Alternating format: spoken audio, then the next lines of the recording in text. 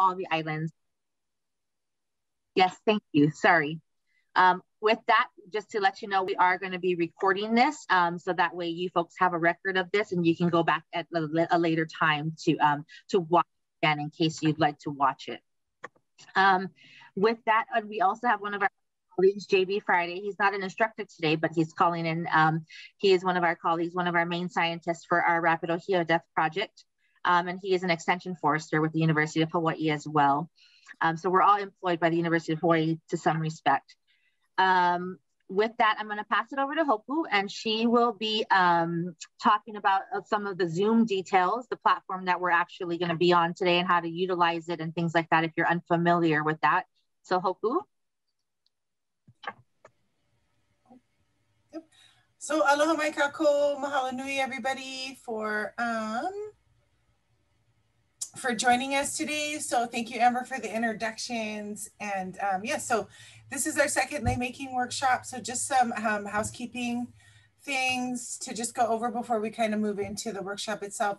Amber and Kim are going to give a bit of background um, of as far as the materials lei making and then um, Rapid Ohia Death and Ohia itself. Um, while that's going on and while we're engaging with each other, we ask everybody if to um, just put their um, put themselves on mute so that we don't have any reverb or background noise. Also, if you have any questions or comments, feel free to use the chat box. I will be in the background monitoring those so I can make sure that those questions get asked. Um, so when we do have some downtime, perhaps we can start engaging in, if you wanted to ask a question, just uh, um, unmute yourself and ask while we're making lei. Uh, we will be conducting our um, our Zoom polls live during our um, workshop. So we ask that you um, respond to those polls. And then we'll also be introducing our workshop survey to you folks during our, um, during, closer to the end of our workshop so that you guys can start kind of uh, responding to the surveys that we're sending out to everyone and providing feedback to our workshop. Um, uh, some other things to think about. I'm trying to think off the top of my head what we had covered. So organizing all of your plants. So um, Amber will go through that. And then um, Kim will present her presentation. Is there anything else? I feel like I'm forgetting something that. Um, um I think we're, not we're not going to have a break for bathroom break. Thank so you. That was it. Yes. a clip will come in or a piece of tape or something to kind of hold your place in case you want to use the restroom. So feel free to break at any time. Um, yes, like who mentioned, please, uh, at the end, yeah. we will have a survey link in the chat box. Um, so and another thing, if you folks are not or unfamiliar with Zoom, um, your chat box will be found on the bottom part of your screen. So if you hover down to the bottom, right near the center, you should see a box that says chat. If you click on that, um, yes, panay, that, yes, that, there you go. That's the word for the leaf of the fern. um, anyway, um, there should be a, a there's already a comment in there from JB, but if, uh, if we're going to get started with the chat box. And so if you folks want to, um, we're going to have you guys practice this. So we make sure everybody has a, a way to contact us or, or to ask questions. Um, so in the chat box, if everybody could please put where you are chiming in from. So I'm going to put in Kaimuki, Oahu. So that's where I'm trying to hear. Oh, hopefully from Hilo. So if you folks could chime in in the chat box, where you're calling in from. We like to see um, where everyone's calling in from. Virginia. Wow. Welcome, Emily. Whoa. Kathy from Aleva, Kalaheo, Hawaii Kai, Kapa'a, Kekaha, California. Welcome. Welcome. Hawaii. This is so neat.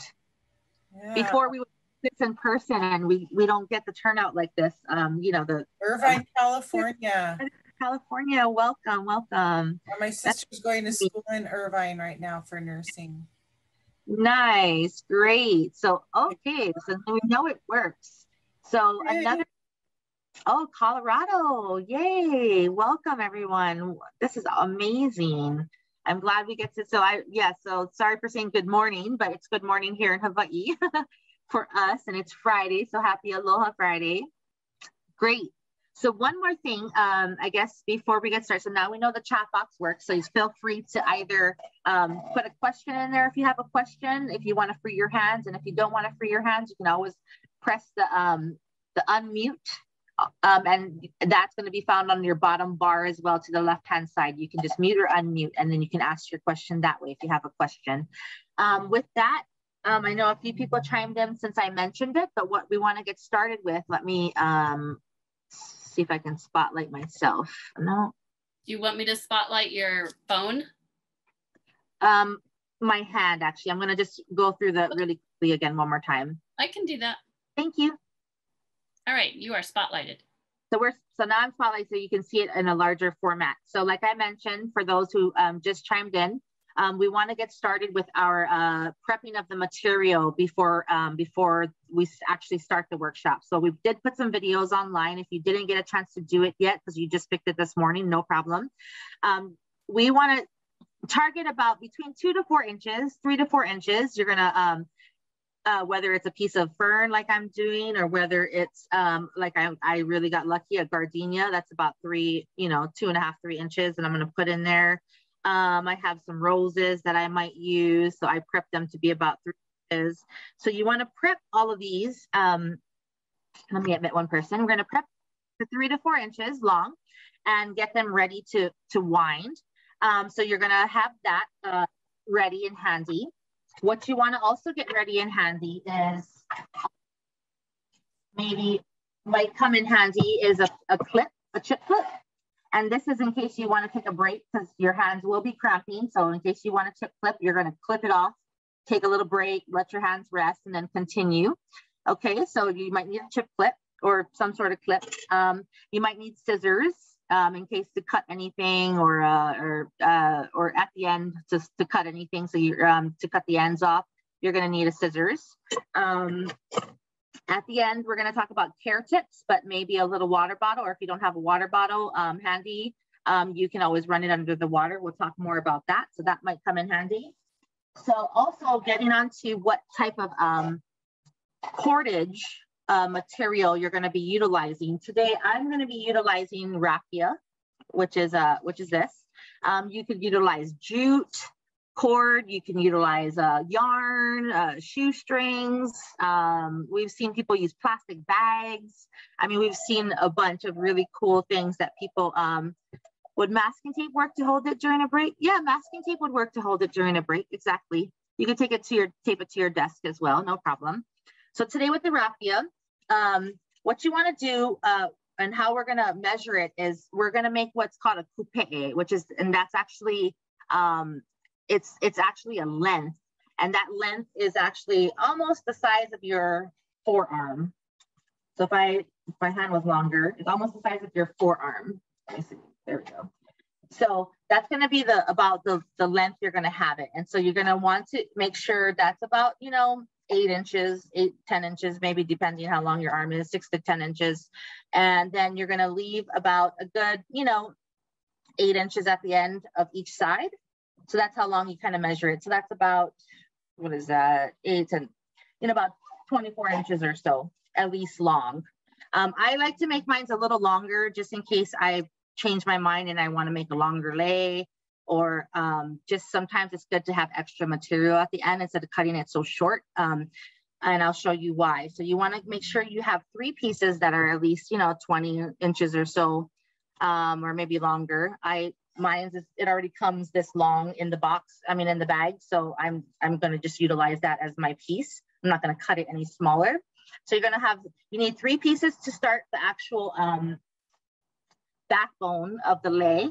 And then you're gonna need some extra pieces, some extra long pieces to wrap and use as your cordage. So just cut a few more wraps, like maybe another three or so, two or three um, 20 inch long uh, uh, wraps or just pieces of raffia. That's going to be your wrapper. So you're going to want to get that ready too. So um, with that, are there any questions? Okay, so somebody had asked, um, one question was, you know, uh, if, if they don't have a chip clip, uh, if a piece of tape would work um, to hold it. Yes, a piece of tape would work. You could tape it really well to your desk. Someone was saying they could tape it to their desk or something. You could do that as well or tape it off.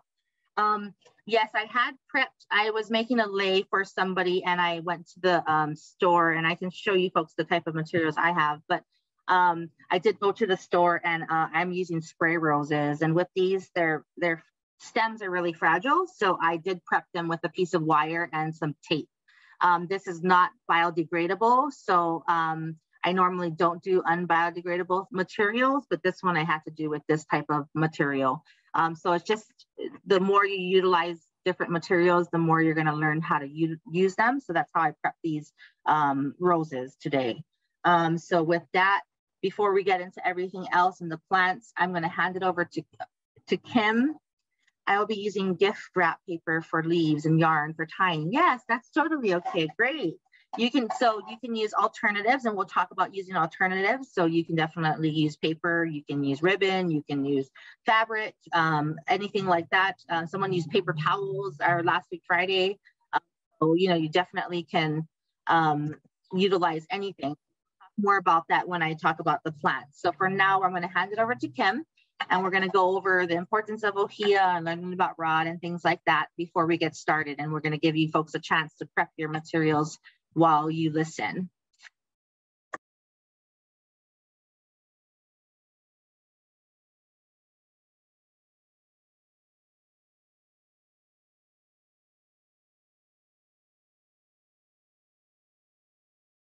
Hang on one second while I unmute myself.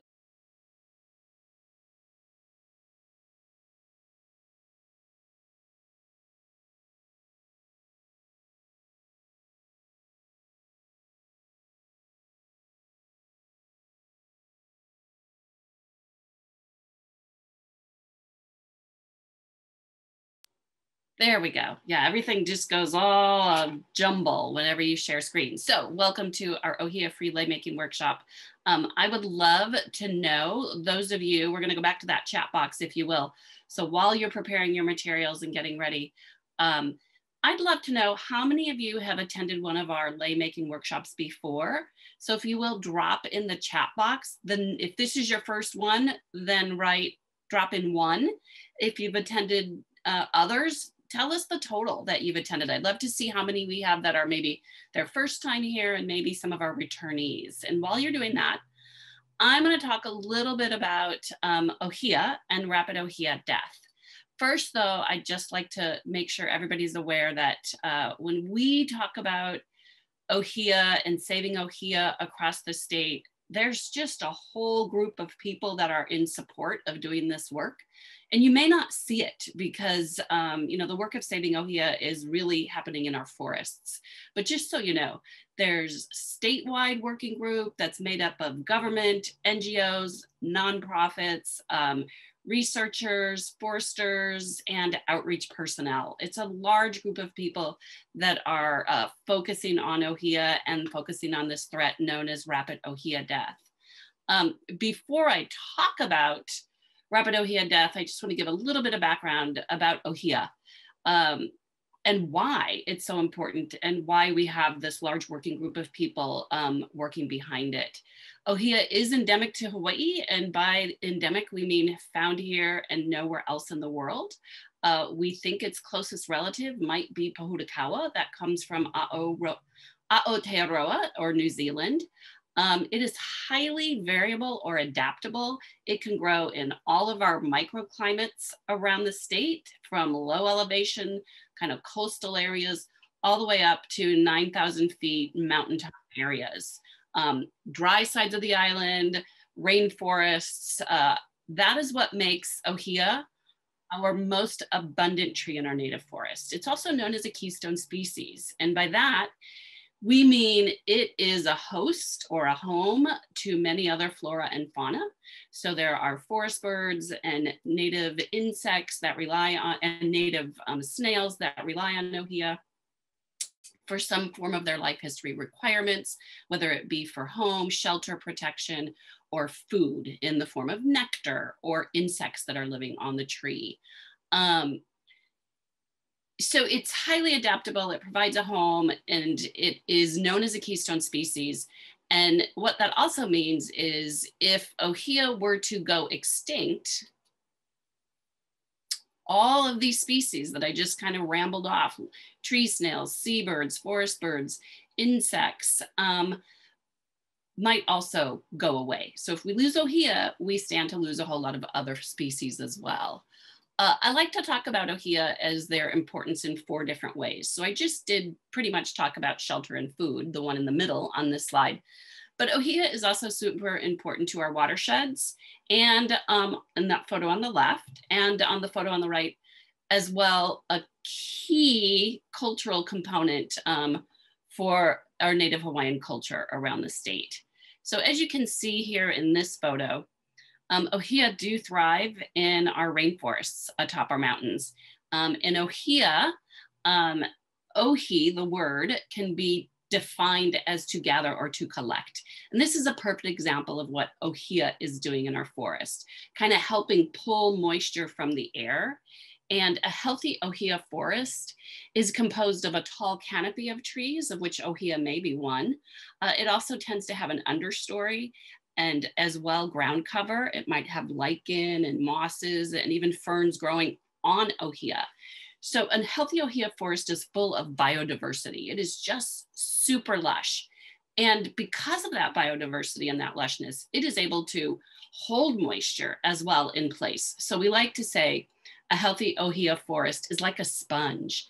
It helps hold moisture in place. And by doing that, it helps prevent erosion and it helps um, replenish our aquifers. So the water that some of us will probably be drinking throughout the time that we are together, um, you know, in a sense, we can thank Ohia for that.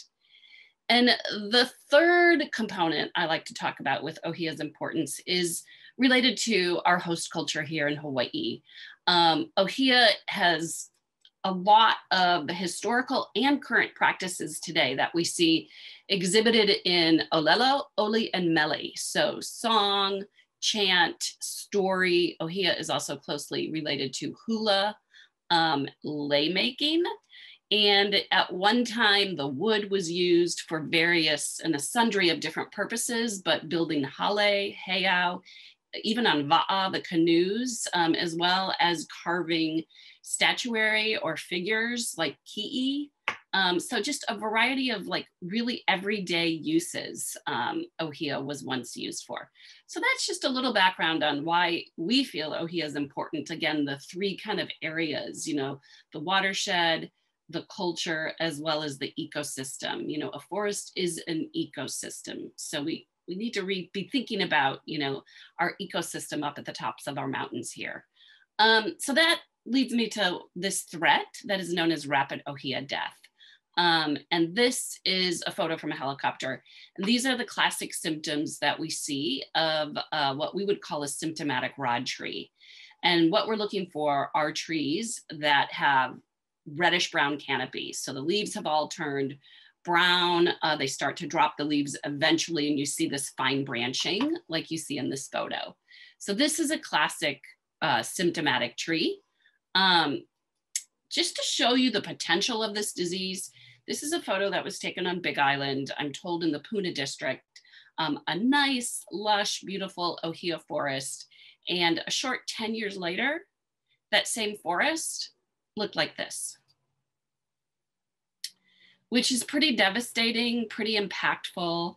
Um, I always like to point out when I share these two slides that this is not what every forest that has rapid ohia death in it looks like all the forests, the impact of ROD varies across the islands, depending on many uh, different things like climate, elevation, and just the sheer number of ohia that might be found in that area.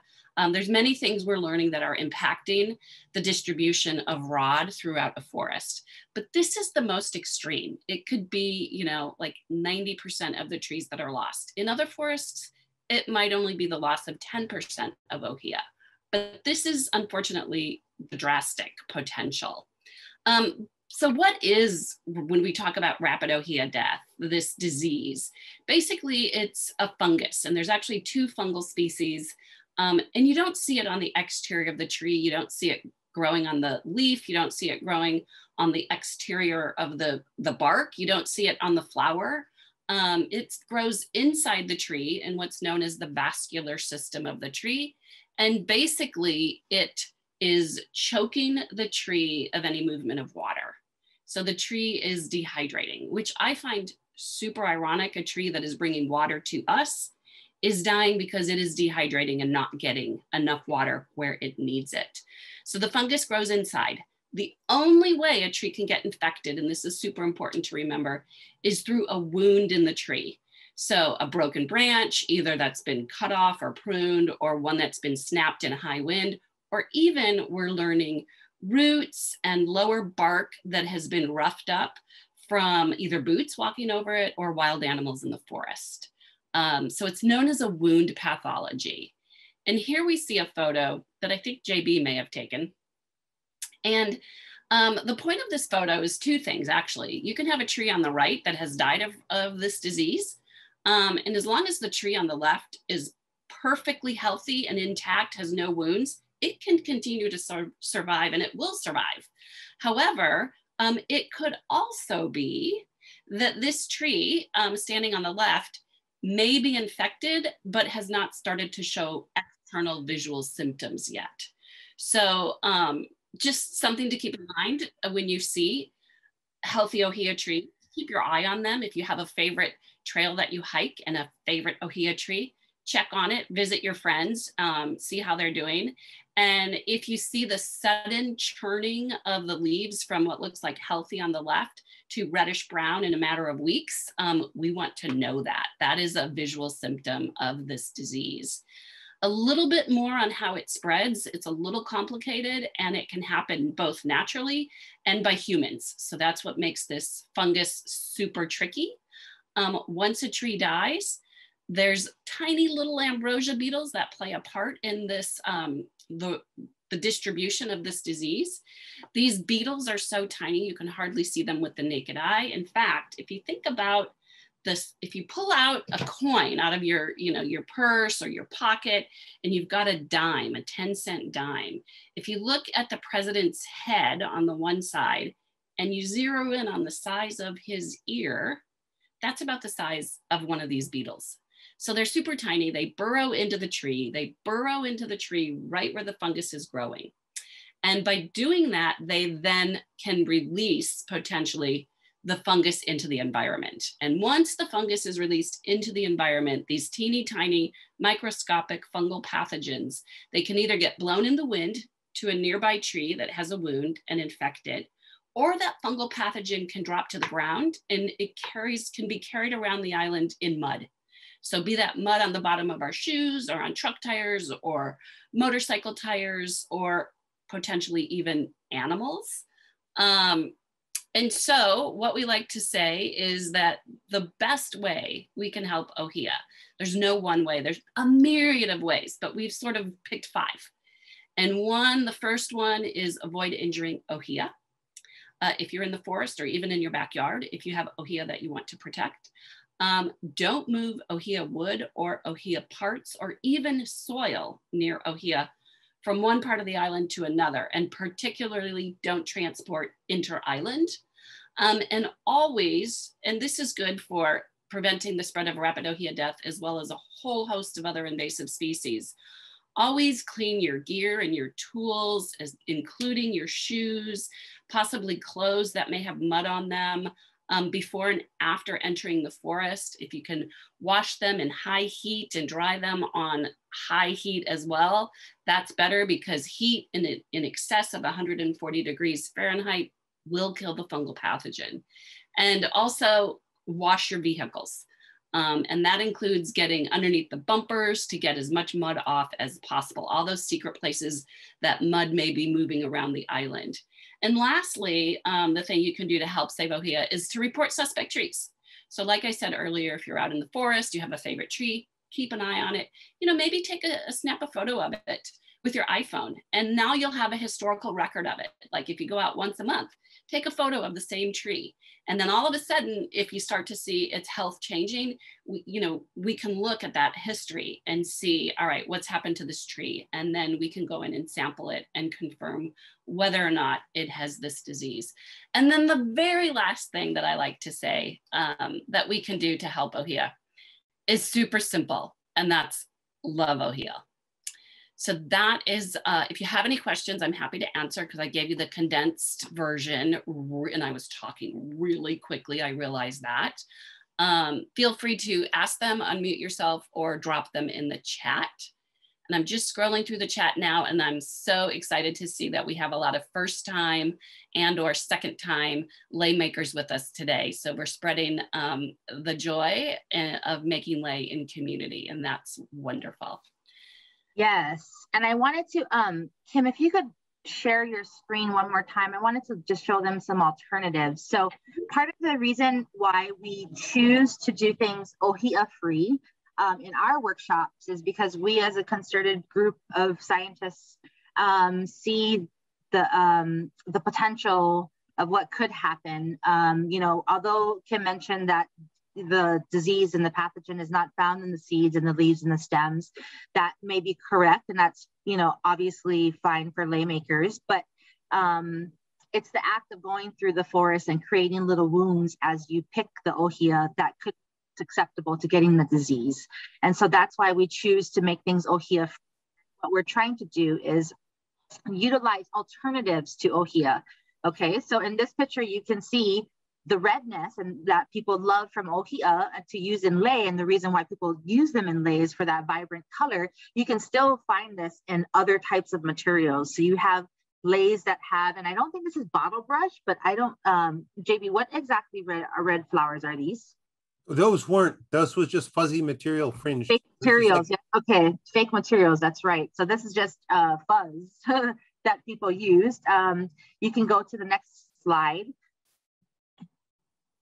you can see on the on the horses of the polo riders, they used bottle brush and they used red tea leaf and they used protea, red protea to get that red vibrant color. So those are all things, anthuriums, things like that. Um, the tropicals have very vibrant colors. Um, gingers sometimes can have really pretty bright bright red colors. Or also, if you scroll through the next one, we have a native shrub here called a'ali'i, and that's what you see as the red in this lei, for example. This is a really beautiful lei. A'ali'i is a dryland shrub. And so um, you guys, we have that in all of our forests across the islands. And these are the seed pods, the red, the red colors, the seed pods. So when they're seeding, they're perfect for um, wreath making, lei making. And then last but not least, we have the bottle brush, which is our last um, uh, photograph. Um, and so, you know, uh, people can use bottle brush for that same look of the ohia. And so we're trying to encourage the utilization of alternatives. And we're also trying to encourage the utilization of what's in your yard. You know, there's a lot of things you can use out there. There's a lot of plants that may not be the typical lei material that you see out there, but it still can be used in lei or wreath making or things like that. So there's a lot of even invasive species, for example, or, or some people can use in lei making. Like I've seen people use lantana the flowers of lantana, for example, in lei making, and it came out really beautiful. Um, so, you know, there's uses to all these types of plants that you can utilize. Um, Kim, I think in the chat, if I'm not sure if you want to handle these questions or not, but um, there was a few questions, um, I'm guessing for you. I did answer one. Okay, I'm sorry, I didn't see that. Okay, perfect. Um, yes, so with that, if um, no one has any other questions, um, now we're gonna get started in the lei making uh, portion of, um, of uh, our workshop. So I know you folks have everything prepped or you are working to prep your materials. So um, Kim, if you could highlight my, um, my hands camera. So I have two cameras folks working. So we're, we're trying something new with our lei workshop. We're, we're learning everything, you know, as we go along. And um, so essentially uh, we got some good feedback from people filling out a survey as well. Um, so um, we decided to invest in a hand camera to make it easier for you folks to see our hands when we're making lei. So hopefully this works a lot better and you are, um, and you can see my hands camera um, nice and clear. So today I was just gonna go over the materials that I have and how we normally, or how I sort this is I put it all on a tray on a sheet pan or something like that and keep them in little piles uh, to, so you don't have foliage all over the place.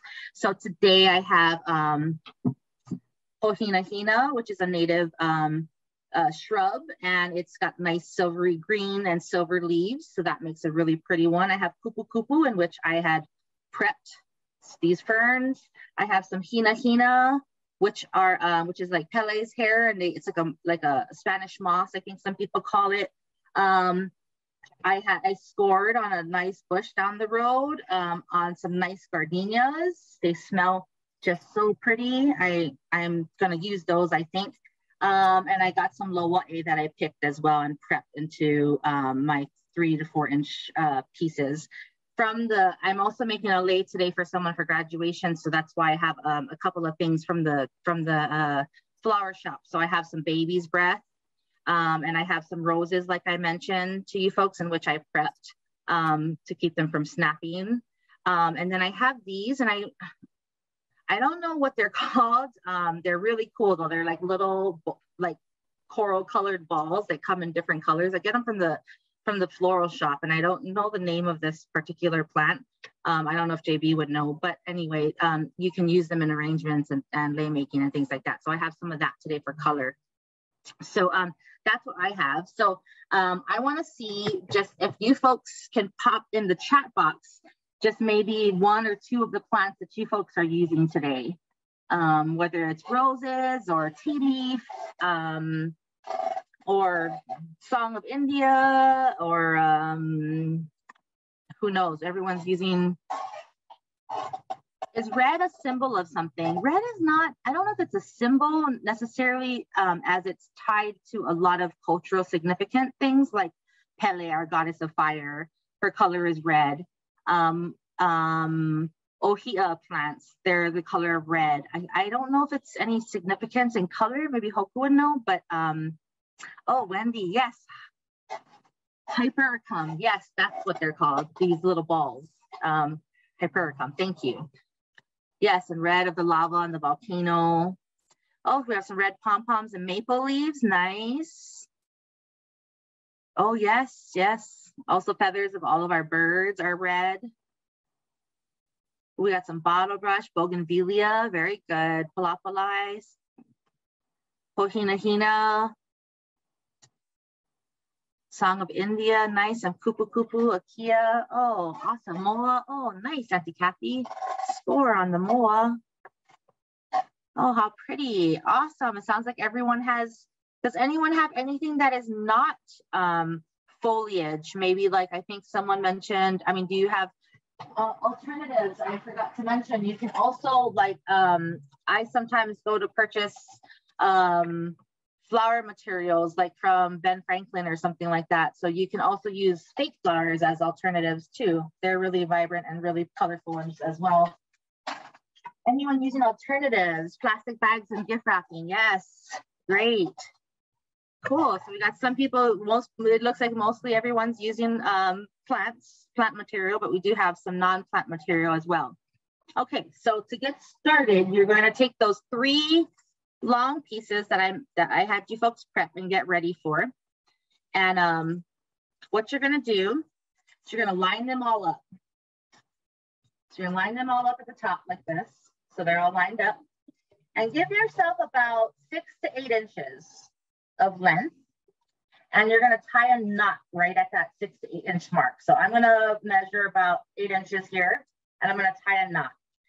And the reason why you're gonna leave yourself that much room is because that's what you're gonna use to tie your lei at the end. That's gonna be your tying uh, material.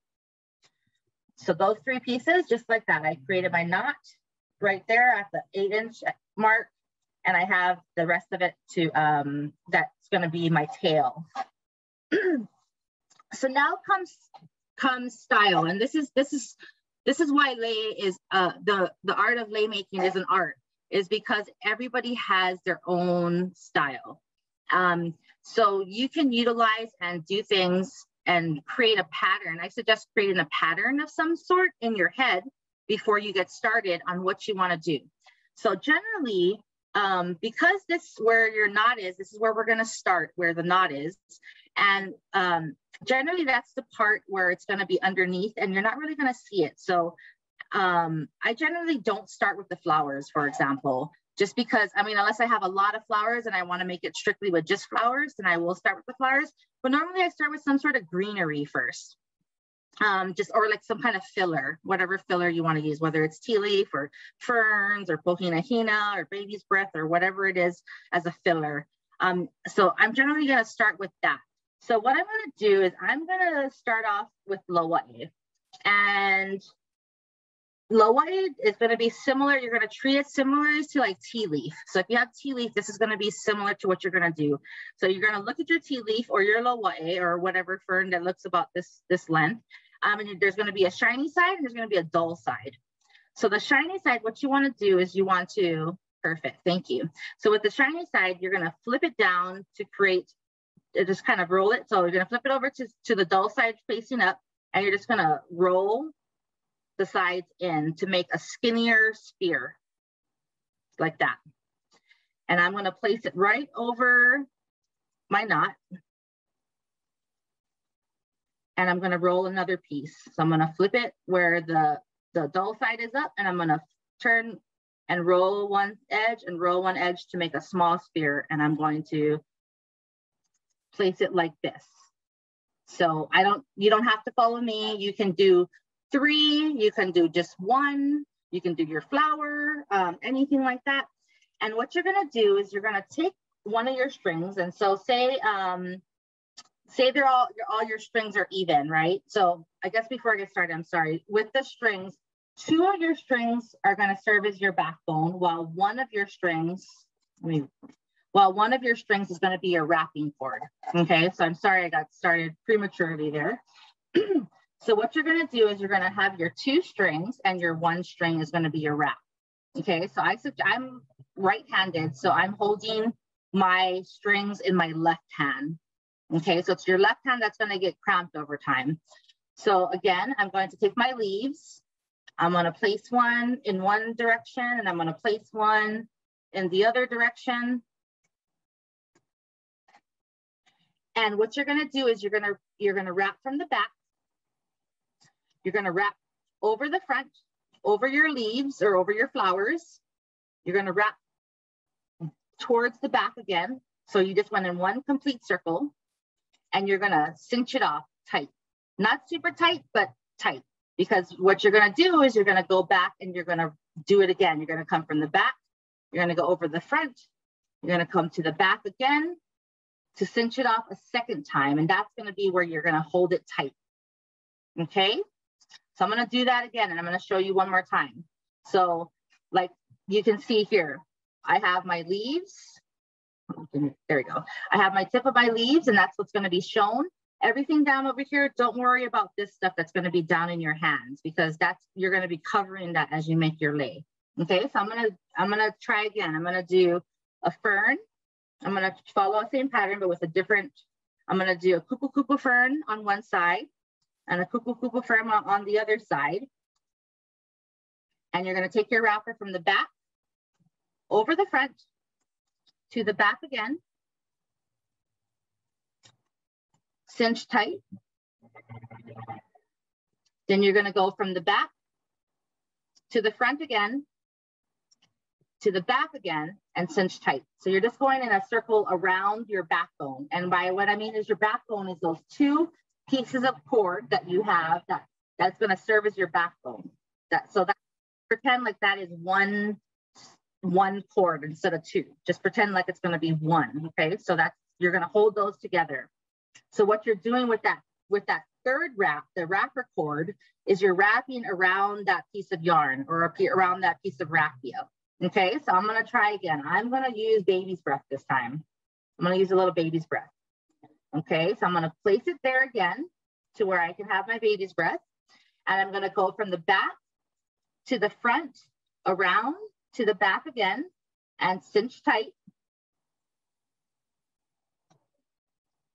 You don't have to go really tight on the first one, but cinch tight. then you're gonna go from the back to the front and to the back again. And on the second one, cinch really tight. And make sure you, so with tea leaf or with laua'e, with things that might crackle, like so if you're using tea leaf, if you're hearing some cracking going on, that's okay because that's going to happen because those leaves are not soft, right? Their their cells are still uh, very strong in there and they're and they're fresh. Uh, so you want to you want to cinch tight, but not cinch like to the hardest that you can go because that might rip your leaves and your leaves might fall out. So you have to have a, I don't want to say like a fine touch, but you want to cinch tight where it's tight and it's held, but not cinch so tight where you're cutting it off and, and it's going to fall out. Okay, so if you, sometimes you might you might lose a, a leaf or two and then you'll know what I'm talking about if you're if you if you're encountering that. So now I'm going to put a flower here. So I'm going to put a gardenia because I want to use my gardenias because they're so pretty smelling. So I'm going to put one because I'm going to make a small one today. You can put two flowers, you can put whatever you want. So what you want to do is you want to go from the back and make sure you don't get the petals in there to the front, to the back again, cinch tight, then from the front to the back on the second wrap and cinch and go to the back again and cinch tight.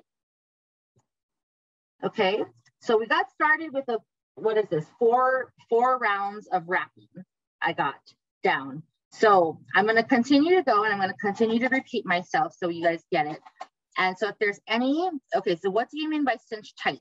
So um, Mindy, what I mean is if you were to take, um, so if you watch how I'm holding it, I take my, my index finger and I push against the, the backbone or the plants and I, and with the other four fingers, I, I pull it tight, tight into my, into my hand. So it's kind of hard to see because I got a flower. So let me see if I can uh, put another piece in there and, and show you again. So I'm, gonna, I'm using Laua'e again because I'm going back to my, this is going to be my pattern. So I'm going to do two ferns, a baby's breath, and a flower. And I'm going to continue that pattern. Two ferns, a baby's breath, and a flower. And two ferns, baby's breath, and a flower. So that's my pattern that I'm choosing. It could be any, any, any pattern that you folks choose. Um, so with that again, with your leaves, whether it's tea leaf or Laua'e, you're going to keep the dull side up and roll it so the shiny side is facing up and you're going to place one. And I'm gonna do the same thing with another leaf. Roll and roll. I'm gonna place it right there. And I'm gonna go from the, while it's tight, I'm gonna go from the back to the front, to the back again, cinch, cinch once from the back to the front to the back again. Okay, so as you folks are wrapping, you wanna keep in mind that you want to try to go over your last wrap on one of the wraps. And then you wanna wrap right below, right below so you're going, so you're going, you're working your way down the backbone. So I'm going to show you the back. My I don't have very much in my lei right now, but I'm going to show you how my back, the back of mine flips. So do you see how there's no spacing? Where's the, there we go. Do you see how there's no spacing um, in the back? That's kind of what you want to target because you want to go over your over your last wrap while going um, beyond your last wrap as well. So you're going down the backbone. So like, just like I'm traveling down the backbone and you wanna make sure you, you try to keep that spacing tight um, because that's what's gonna keep your lei from falling apart. So if your hands are starting to cramp because it could possibly be cramping by now, um, especially for me, since I'm holding it with my left hand, it might be, my left hand's gonna get cramped over time. And so um, this is where a chip clip would come in. So I don't, I'm not right now, but I'm gonna show you in case you do wanna take a break, just put your chip clip right at that, right at that junction, just like that, or your tape, and you can tape it down to your, your desk, and just, just so it's held tight. Okay, so if you want, that's how you use your chip clip. I'm gonna continue um, because I'm not cramped yet, so I'm gonna continue. I just did my laua'e, so now I'm gonna do my kupukupu. So let me know if you folks have any questions. Feel free to share your screens if you want. Share your screens so people can see what you're doing or you, or you can show us. Um, if you have any questions and you don't want to free your hands and don't want to write in the chat box, you can unmute yourself and ask a question. But if not, I'm to continue keep, to keep going down. So I'm to wrap from the back to the front, to the back again, cinch tight, one round, do it again from the back to the front, to the back again, cinch tight the second round. Okay, so now I'm on to my baby's breath.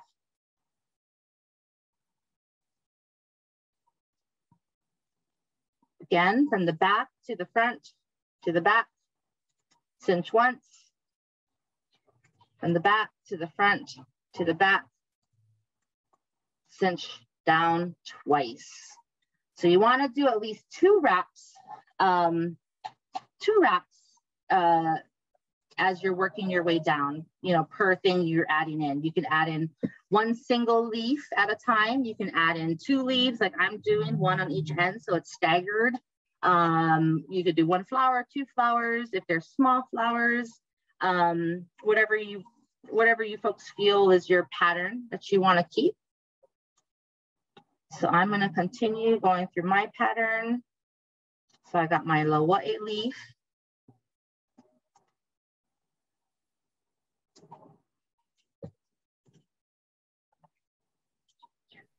Hey, Amber, I am yeah. running out of my wrapper. Oh, perfect. Okay, perfect. So let me, so, so perfect timing. Thank you, Kim. Um, I'm so when you're running out of your wrapper, which is the probably where uh, some people are right now. So let me just tie this one off really quick so I can show you folks what to do to add in another wrapper. Okay. So I'm gonna cinch this tight before I add in my wrapper. Okay, so say my wrapper is, I'm gonna cut it just to replicate a short one. Okay, so say I got this, this is left. Oh no, I'm running out. I don't have any more wrapping string. What do I do? Okay, so what you wanna do is you wanna grab another one of your strings, whether it's your yarn or your raffia, um, whatever you're using to wrap, you're gonna grab a fourth piece.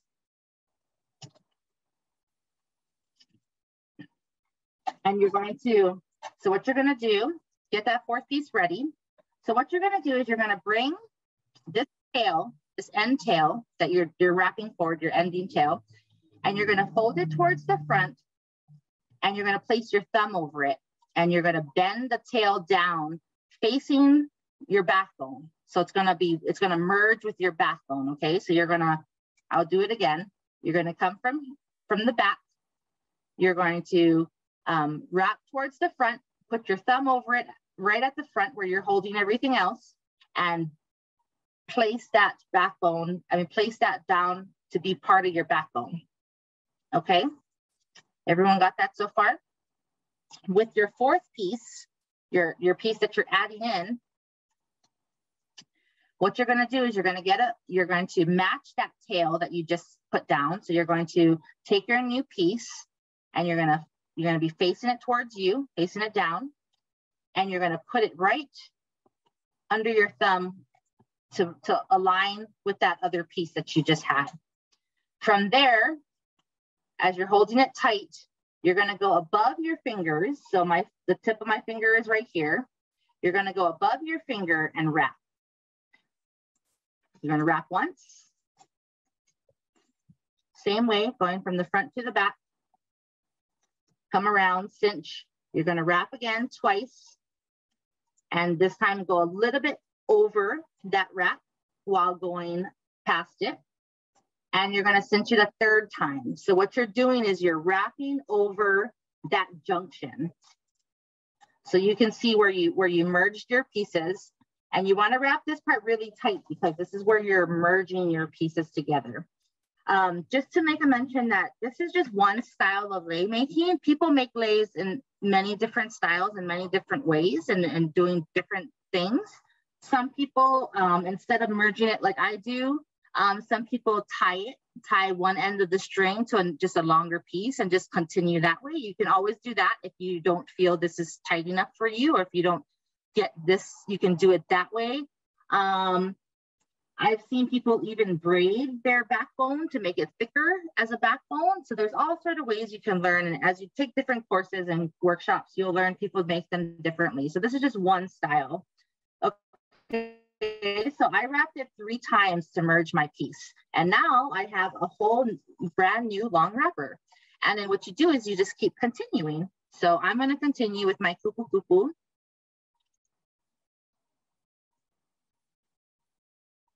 I'm just gonna continue going down my backbone. So wrap from the back to the front, to the back again, cinch once, then from the back to the front, to the back again, cinch twice.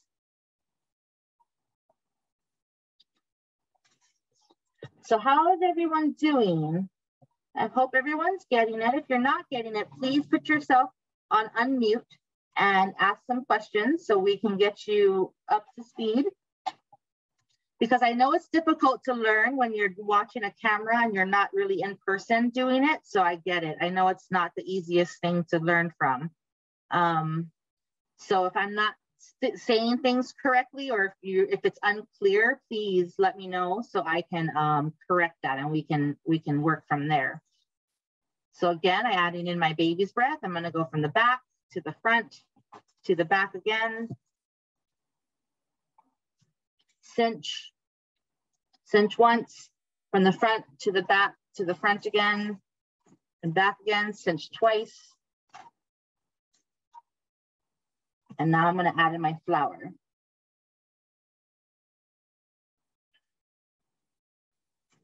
So same thing with the flower. It's a little thicker of a stem um, I'm sure um, whatever whatever flower you're using is probably going to have a sticker a thicker stem than maybe the leaves. So you're going to do that. You're just going to wrap in the same manner, um, but you're going to make sure that you're you're you're um, holding it tight. Okay, so from the front to the back, cinch once. From the front to the back, cinch twice.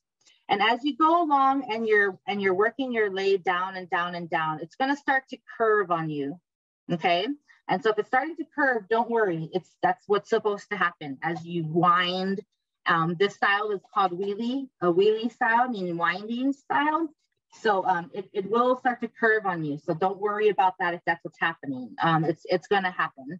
Your hands are going to cramp, and that's um, if your hand is cramping, that means it's a good sign. That means you're holding it tight enough because you want to make sure to hold your plant material tight enough and wrap tight enough because if you don't, when you wear it, um, you know, it might just fall apart on you if you're not wrapping tight enough.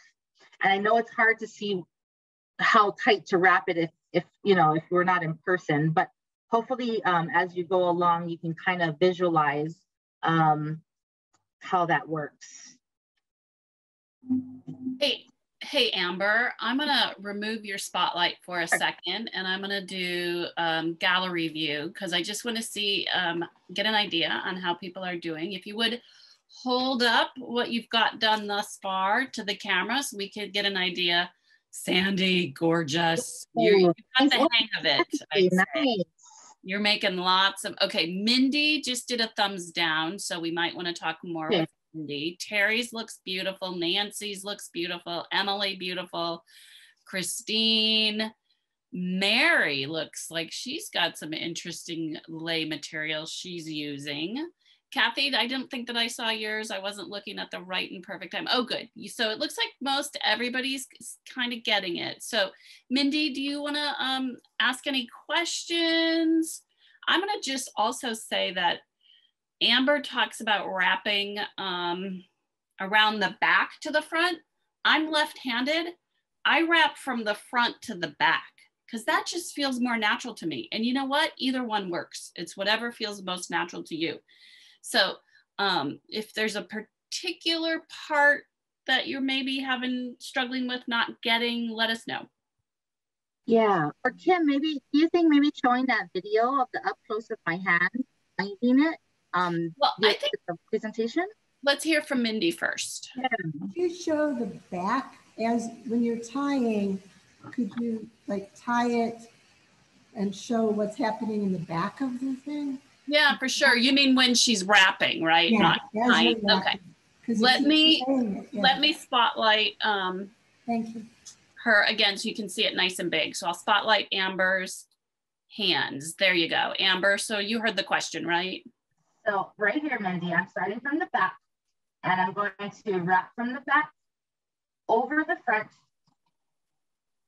to the back. And then you can see, do you see where I'm at in the back? I'm sorry, there you go. There. The back. Can you move your, your hands a little so that we can see more of your back? I don't know if you're gonna have to move your hands to the right or the left, but Let's try, sorry. I don't know if you can see your camera. We can't, your hands are going off the edge of the camera. Yeah. Okay. A little more, please, the direction you just moved. This direction. There we go. I don't know. Okay. So, And- uh, yeah, There, Thank now we can see that. Does that help, Mindy? Yes, thank you. So that's, so just, could you wrap it as you're going, so you're just wrapping it? Right.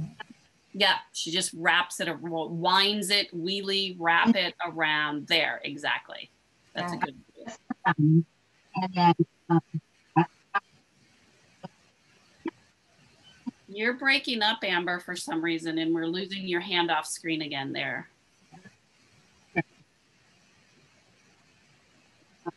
Again, your voice is breaking up. Something's happening with your audio.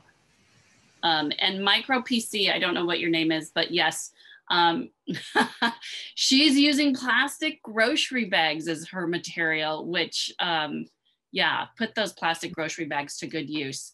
yeah, Oh, you're Mary. Okay. Hey, Mary. Mhm. Um, they seem to be working well for practicing, not pretty, but practical for practicing. That's a great idea. Use something. Yeah. No, don't go for like the most beautiful thing to start with. Just do a few. Um, the more of these you do, the more it starts to make sense. Like my first one when we were doing these last year was, yeah, it felt it kept falling apart. Like I'm like they're not staying in there. So practice makes perfect, like with anything. so Mindy, are you, are you getting the wrap yet? You put yourself on unmute. Um, yeah, I think so. Could you also demonstrate again the, um, when you add the string or, Do that. Give me one second. Let me get up scissors. So I'm gonna cut my rope because mine is mine is um, long, and I'm gonna I'm gonna uh, merge another piece. in here. Amber, there's something happening with your audio. Is your microphone by chance um, obstructed in some way? So Huh, weird, because your sound muted and you're breaking up a little bit. And it was not happening before. Hmm.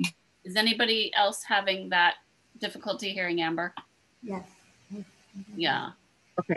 Let me try again. If not, maybe I can switch my uh, audio to my phone audio. Yep, there you go. Okay. Let's put this first. So if I breaking up, You're still breaking up some. So yeah, why don't you try switching audio from your computer to your phone? Okay, give me one second, guys. I'm gonna flip this off so I can use my Yeah. hands to change this up. Give me one second.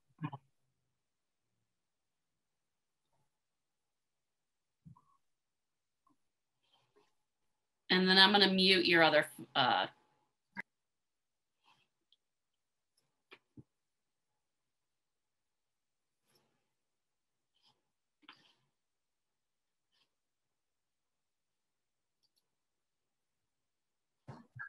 Uh-oh, I don't know if that's gonna work. yeah, now we're getting reverb. Whoa.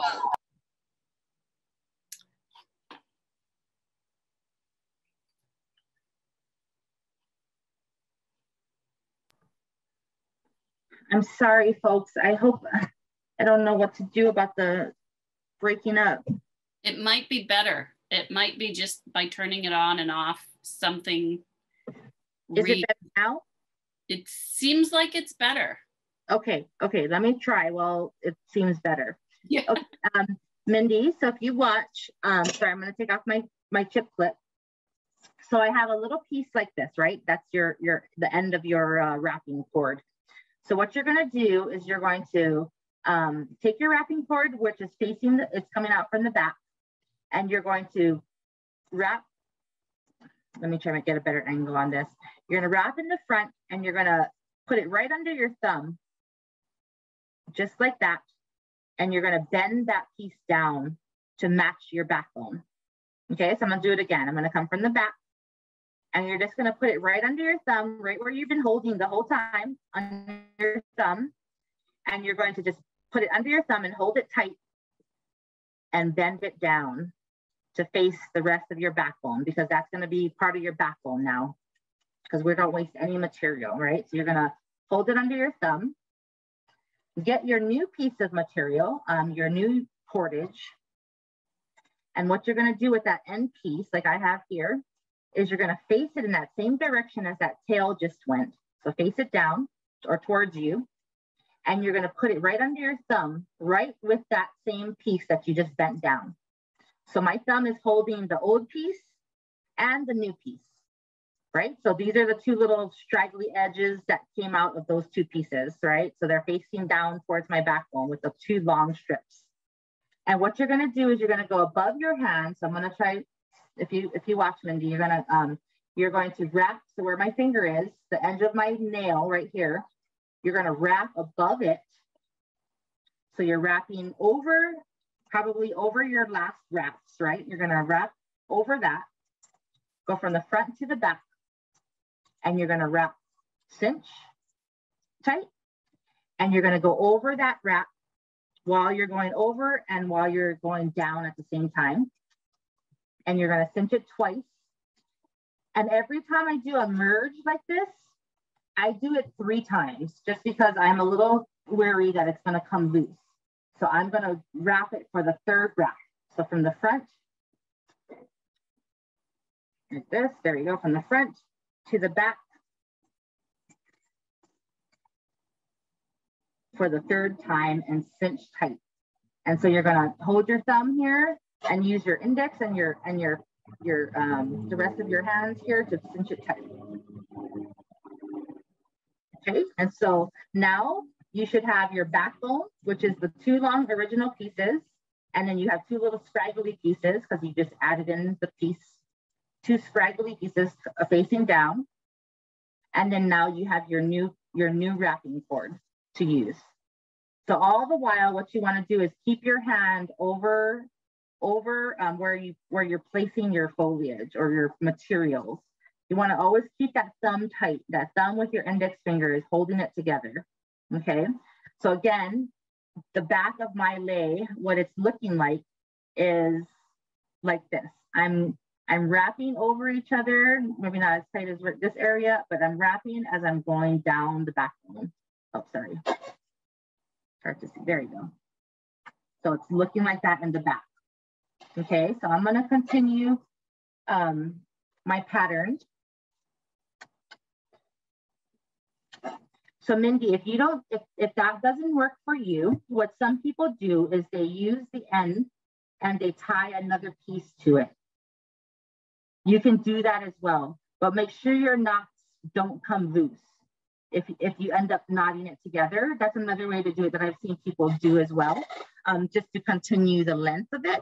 Um, you can do it that way. Um, just, just note that if you tie the two ends together, sometimes they, they can come loose.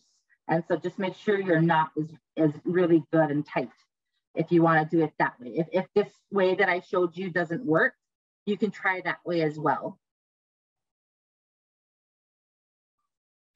Are there any other questions? Um, it sounds like, I mean, it seems like everyone's doing good and and getting their um getting it down. It seemed like I looked at a bunch of the a bunch of yours. It looks really beautiful. I hope it smells just as beautiful as my house smells right now.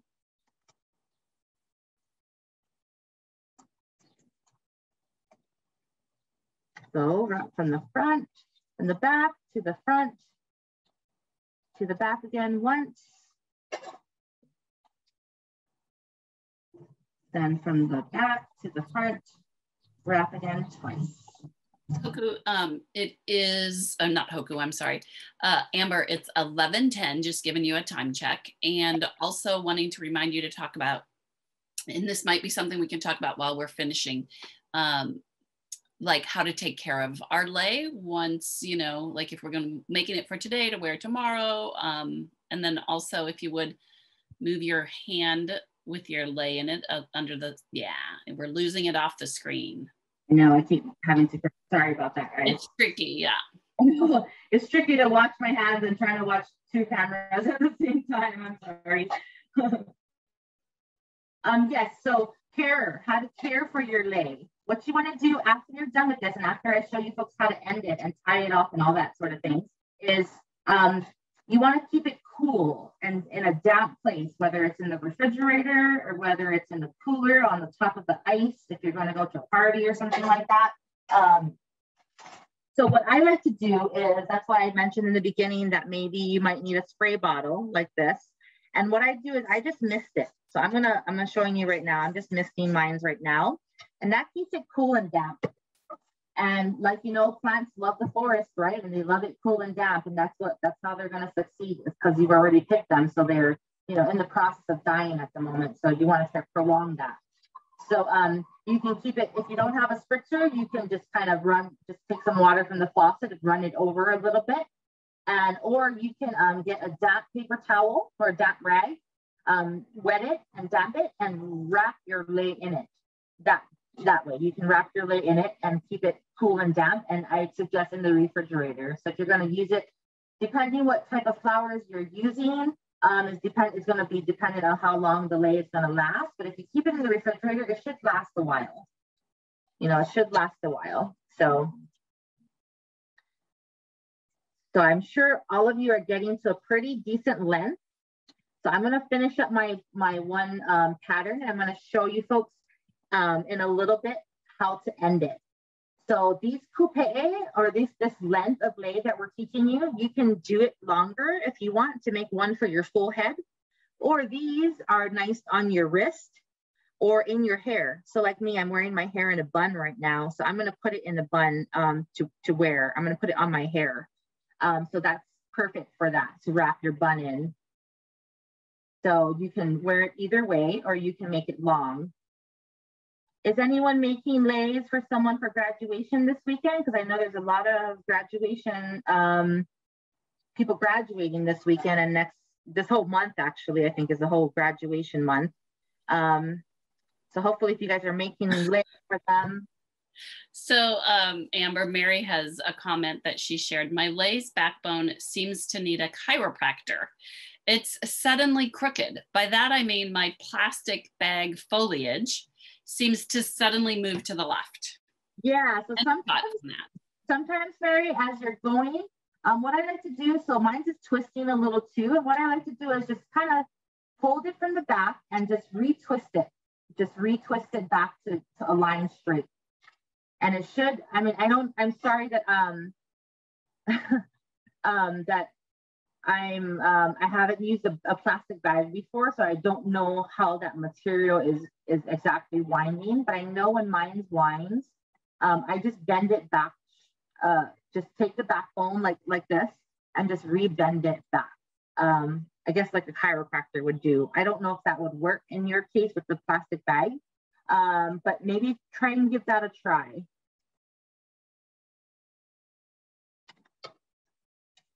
Gonna wrap from the when that's happened before to me what i've done is i just unwrap um, until i get back to that bend and then i i start over.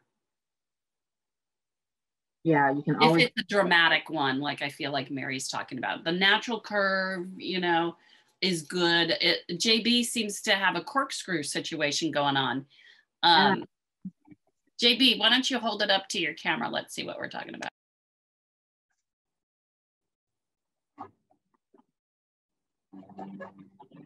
Wait, I can't see JB. Try again. Yeah, let me try again without the um, background. The it's just the tension of the lei makes it go. The tension of the weaving makes it go round and around. Yeah, it does. So you can just try to like un um just wind it back to make it straight. I would suggest. And when you wear it, you're gonna wear it around your head or something. Like it'll you can um try to rearrange it because I mine does that too. And I don't know if um, there's any way to stop it from winding, you know, because as you're winding, it's winding. It's, it's just the tension you're doing, I think, by winding it. it Unless you were to reverse. I mean, if you went this and then that and that, I don't know. So mine also came out with a flat back because if I pulled it tight, it snapped the tea leaf. So this is just tea leaf bits. So if I pulled them tight, it snapped the tea leaf off. So I, I just left them kind of flat folded. So it's Yeah. got this flat back on it. Hmm Yeah, I wonder too if it's the um, the amount of material that you're using, like the denser, the tighter, the more impact with different materials. You know, if that helps create the natural arch versus the spiraling. But you know, we learn over time, right? What's the good material to use and Yeah. what we like. Okay, I'm almost running, running out of my cord where I'm going to show you guys how to end it. Okay, so just give me a few a, a few more wraps, and then I'll show you how to end your lei. And it's pretty simple, the ending part. You can do it in many different ways as well, like I mentioned. But let me wrap a few more, and I'll show you how to end it.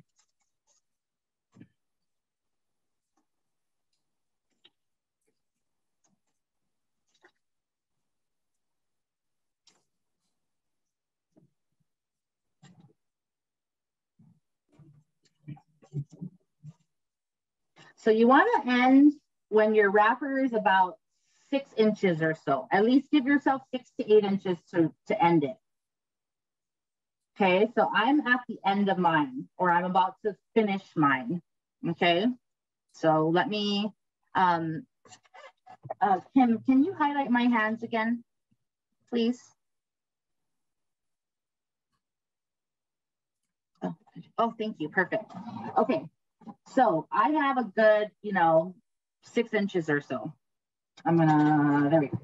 So what you're gonna do to end it is we're gonna tie it off. And how you're gonna tie it off is you're going to kind of grab your, grab your, uh, your tail or your wrapping cord and you're gonna um, put your hand and make a loop and loop it back under. So you're facing the other direction. So your so your tail is now facing out. If I'm if you're right-handed like I am, it's gonna be facing towards the left. So let's do it again. I'm gonna show you. So all I did was it's on the right-hand side for me now. And what I did is I just made a loop and I went back under through the back on the back side. Like that. Okay, so on one side I have a loop and on one side I have a tail.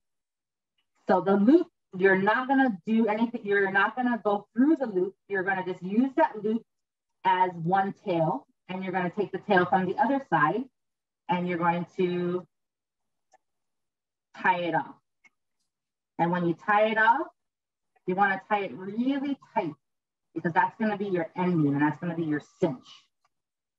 Okay, so I'm gonna tie this, and I'm gonna re I'm gonna put another string in there, I'm gonna show you how to tie it again, in case you didn't catch it. Give me one sec. Let me tie this one off. So I'm going to add in just quickly a small little piece to just show you. Um, I'm going to pretend mine didn't end. And I'm going to, I'm going to just make this really quick to show you guys again. So you don't have to do this. I'm just doing this for a visualization and a demonstration but I'm making pretend this is going to be my wrapping cord so I can show you one more time how to end it. Okay, so pretend this is my wrapping cord. Okay, so what you're going to do is you're going to create a loop. You're going to loop it, make a loop, and go back under. Face and then put the this this uh, end tail underneath. So you have a tail on one end and you have a loop on the other end. Okay, so the so it went under. I'll show you one more time. Gonna make a loop and go back underneath. So on one side, you're gonna have a, a loop, and on one side, you're gonna have a tail. Okay, hopefully everybody gets that. And what you're gonna do with that, you're gonna take that loop and just use it as one string and you're gonna take the tail from the other side and you're gonna come around the front and you're just gonna tie it off. And you wanna tie it really tight to cinch it really tight. Okay, and you're gonna double knot or triple knot it if you want. I'm gonna double knot again. Okay, so now what you can do is you can trim, you can trim those pieces off if you want. And your, so your piece is going to look like, this is the end. And so what you wanna do with the ending part is cut a good, make it, make it even with, um, with your other piece. So make it a good six to eight inches. However, however much you have in the front that you use as one end of your wrapping cord, just cut it evenly. So my lei is right here and I'm just gonna cut it right here.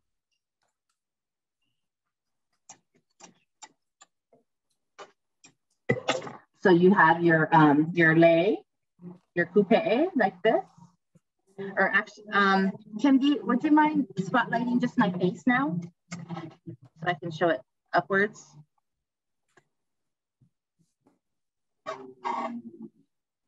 Perfect. So what you're gonna have is you're gonna have your kupe'e like this, and you're gonna have two ends that are gonna be used as your tying cords. So what you're gonna do is you can tie it on your wrist like this, oops, your wrist.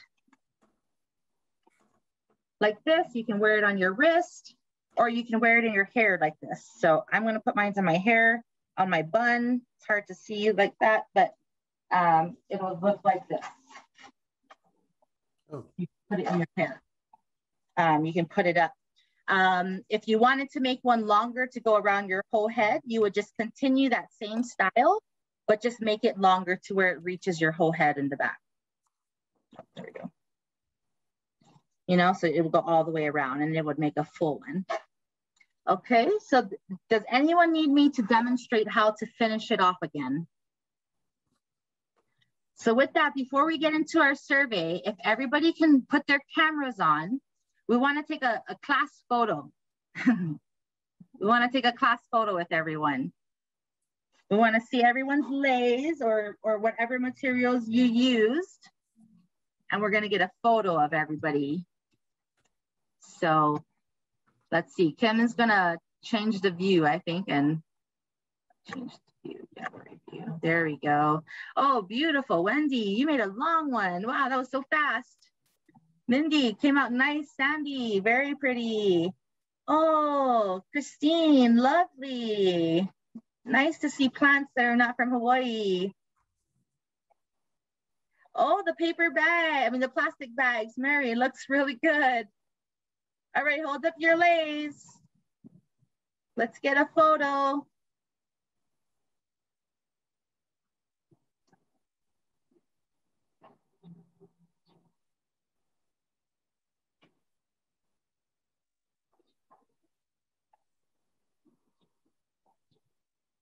Perfect. I think Kim, if you're- I got a bunch. That's good, Amber. Okay, great. So with that, I'm gonna spritz mine, like I was mentioning, I'm gonna spritz it and make sure it's nice and damp to keep it in the refrigerator. Um, with that, so before you folks head out, if you folks wouldn't mind just filling out, just taking a, a quick three minutes or so to fill out a survey for us, let me get the link. I'm gonna put the link in the chat box.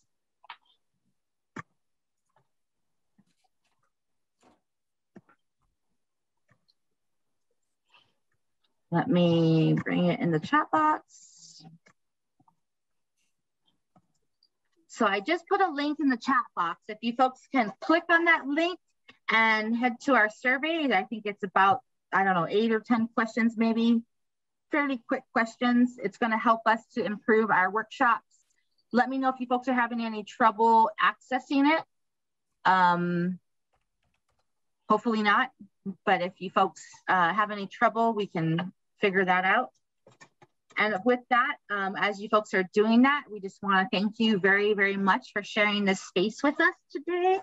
It's always so fun to do lei making. We can't wait till it can be in person one day, but with that, at least um, we still get to get together and do things collectively and share knowledge with each other and do something fun and something productive.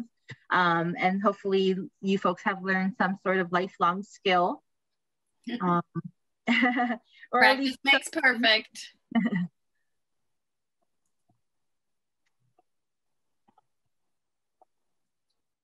Oh, thank you, Mary.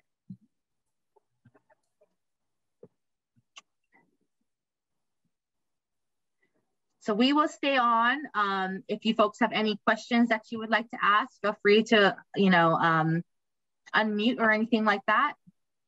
And don't forget our next lei, ma- lei making workshop, so you can practice again, is Friday, May 28th. So you do need to sign up for that one. Just because you're signed up for this one doesn't automatically enroll you. You need to sign up for each of these individually. So if you want to join us again, So Friday, Kim, will May that be a different style playmaking? No, this is going to be the same style the next round, um, but I think we're going to do some more workshops to teach a different style as well. So just keep an eye out for it. However, you folks heard, whether it's our newsletter or any of our emails or social media, keep an eye out for that. We are going to probably host more play workshops. Um, do you have do you have the link handy, Amber, for people to sign up for the 28th? Um, let me let me go get it.